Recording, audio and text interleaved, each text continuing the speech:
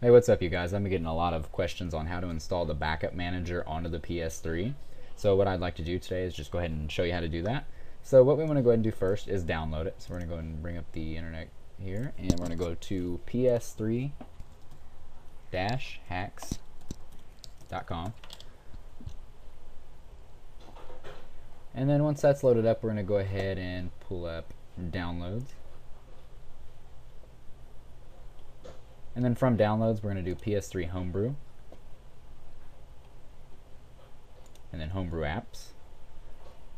And then you'll see it there. It says Backup Manager. So we're going to go ahead and click on that.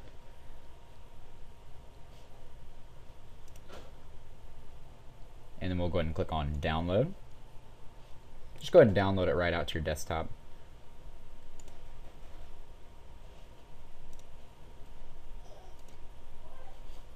Alright, you can go ahead and close out your internet window. And then that download will be on your desktop. And it's called manager.pkg. So now what we want to go ahead and do is put that on a USB flash drive. So we'll go ahead and open up my computer. And then I've got my flash drive right here. And what you do is you just go ahead and drop it right into the uh, main directory of that flash drive. So we'll just go ahead and drag it and drop it on. It's going to go ahead and copy on there. And then next, you just go ahead and take that out, and we're going to head on over to the PS3. Okay, now that we've got the backup manager on our flash drive, we're going to go ahead and install this on the PS3. So set it aside, we're not going to put it in quite yet. What we're going to go ahead and do here is start up the PS3 with the exploit. So go ahead and turn off your power. Go ahead and plug in your iPod or iPhone. We're going to go ahead and turn the power on.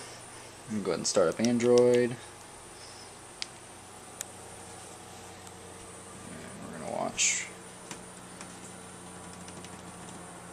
For the penguin here. Alright, we're booting up.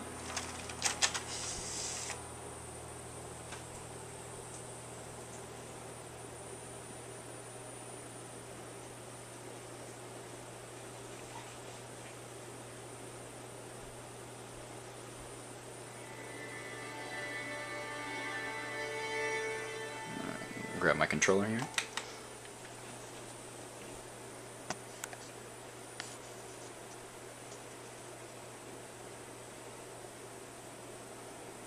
Alright, everything is loaded up. So what I'm going to go ahead and do here is unplug my iPod from the PS3. And now we're going to go ahead and put our flash drive in.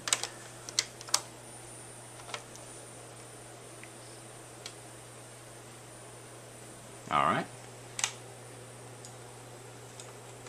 And then where we go here, it's under game, and we're going to go down to Install Package Files. Go ahead and press X on that, and we're going to open that up. Now if you look here, you're going to see manager.pkg.